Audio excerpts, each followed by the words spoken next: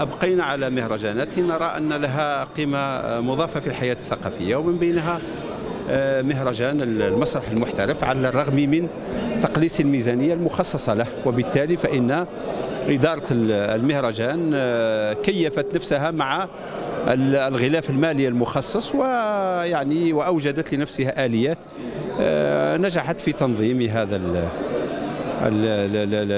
في هذه الطبعة بمشاركة يعني آه، آه، معتبرة للفرق المسرحية.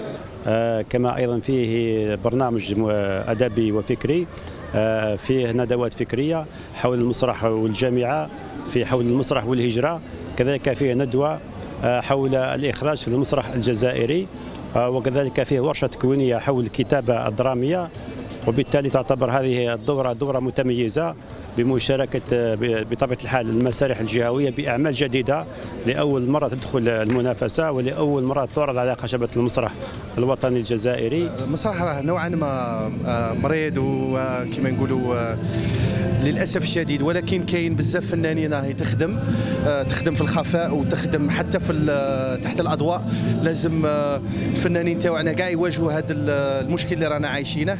لأنه كانت سنوات من قبل وين كان المسرح استرجع القوى نتاعه والإبداع من حيث الكم آه، كان موجود وحتى بداو يخرجوا مخرجين وممثلين آه، في النوعية يعني كنا نشوفوهم.